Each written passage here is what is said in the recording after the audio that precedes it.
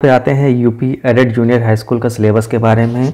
आज ही 11 फरवरी के दिन दोनों ही चीज़ें अपडेट कर दी गई हैं कि कितने नंबर की परीक्षा होगी, कितना टाइम आपको दिया जाएगा रिटर्न एग्ज़ाम के लिए। तो UP aided junior high school syllabus ये है, ये आपके सामने है। इस प्रकार से प्रश्न पत्र बनाया जाएगा, ये हिंदुस्तान न्यूज़पेपर से है। तो सामान्य ज्ञान खंड का खंड खा खंडगा।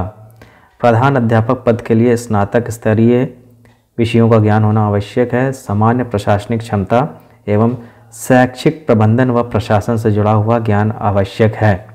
परीक्षा का समय देखिए किस प्रकार से बनाया गया है। सुबह 9 से 11 बजे सहायक अध्यापक की परीक्षा होगी।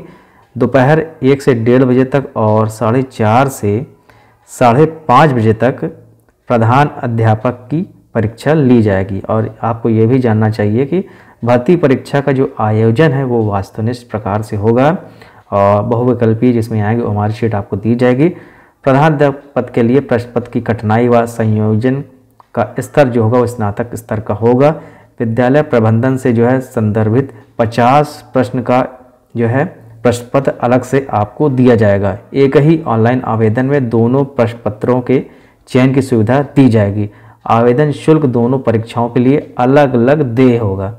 तो ये थी अपडेट। अब आते हैं, टाइम ड्यूरेशन ढाई घंटे की और और यहाँ पे आप देख रहे हैं, डेढ़ सौ सवाल पूछे जाएँगे। ढाई घंटे की परीक्षा में कुल आपसे डेढ़ सौ सवाल पूछे जाएँगे। तो 18 फरवरी को नोटिफिकेशन एक जारी होगी, जिसमें आपको पूरी इन्फॉर्मेशन मिल जाएगी, पीडीएफ नोटिफिकेशन मिल जाएगा, किस प्रकार से परीक्षा ली जाएगी। तो ये थी अपडेट। तो शिक्षक भर्ती की परीक्षा 11 अप्रैल को होगी। आप हमारी अफसल वेबसाइट पर भी जाके देख सकते हैं। अपनी अफसल वेबसाइट का आपको नाम बता देते हैं। यहाँ पे आप जाके देख सकते हैं। पूरी इन्फॉर्मेशन आपको मिल जाएगी।